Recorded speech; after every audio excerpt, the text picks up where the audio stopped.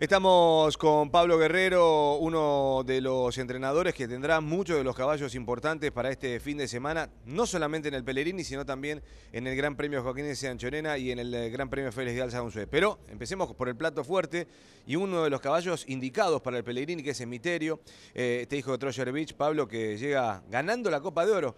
Generalmente se dice que los caballos adultos, cuando ganan la Copa de Oro, es la gatera fundamental para el Pellegrini. Sí, bueno, le tocó ganar la antesala de esta carrera. Creemos que lo hizo en gran forma, tuvo un percance en la largada y lo superó. Este, llega en gran forma, creemos que de tener un desarrollo medianamente prolijo, seguramente estará definiendo. Eh, ¿Cómo la ves a la carrera? Ha sido muy numerosa ayer después de la ratificación, son 24 los que van a correr.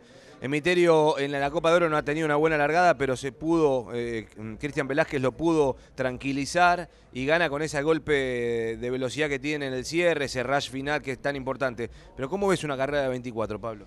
Sí, la realidad es que vos podés llegar con tu caballo 11 puntos, pero cuando es tan numerosa queda muy supeditado toda la suerte que puedas tener el desarrollo ese día. Las carreras cuando son entre 8 y 10 caballos vos las podés estudiar, podés elegir una forma de correr. Entre tanto caballo, ese día seguramente le toca al que viaje mejor. Bueno, tenés también otro ejemplar, que es Fortalen, que van por el lance, si se quiere, ¿no? Sí, eh, es un potrillo joven, lo ha hecho casi siempre bien, viene a entrar tercero en el provincia, corriendo bastante arriba. Está sano, está muy bien, él siempre le cuesta un poquito, ahora llega en óptimas condiciones, dio una pasada bárbara y también hay una buena expectativa porque si se hace movida él puede sacar provecho de eso y puede hacer una buena carrera. Bueno, y los otros eh, internacionales tenés dos en el Anchorena y uno en el Unzué.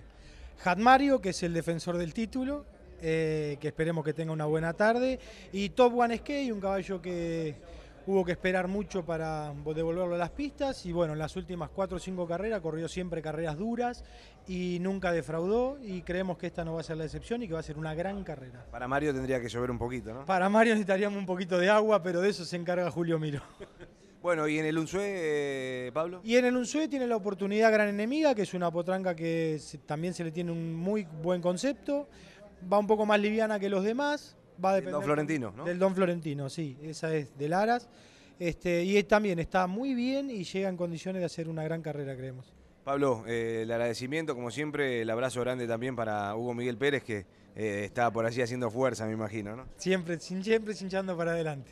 Pablo Guerrero, entrenador entonces de Miterio y con varias chances, tanto en la Anchorena como en el Unzué, charlaba con nosotros en esta previa del sorteo del Carlos Pellegrini.